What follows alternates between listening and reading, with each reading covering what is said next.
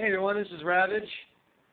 Take a look at how well this is what we do for a living. I mean, this place was the guy lived here for 20 years. Places with the, walls and everything were covered in nicotine and nastiness. And a few, about a week or two later, I mean, look what we got now. I mean, look at this. Clean countertops, some new faces on some look different. We had to replace some of them, but I had to wipe all these down, all the inside cabinets. Everything over here, had to replace these tops on both sides here.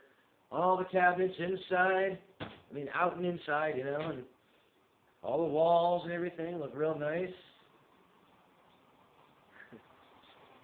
He's hiding from you all. He's got new things to show you soon, but we're still working on it. Anyhow, new toilet, you know, new faucet, new mirror. Yeah, the mirror itself. Oh, hi. The mirror itself was destroyed when we got in here. It was it was horrible. Wallpaper everywhere.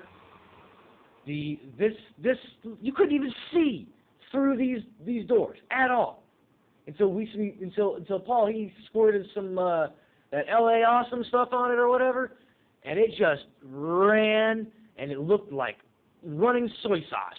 It was that gross. And I mean, like I said, these walls were covered in nicotine.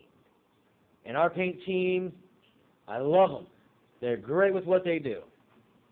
But yeah, this place was a disaster area. Carpet was destroyed. We pulled it up. Everything. So yeah, I, I, we do a damn good job. You know, upstairs bathroom looks just as good. So, oh well, hopefully get this posted soon enough. So, catch everybody later.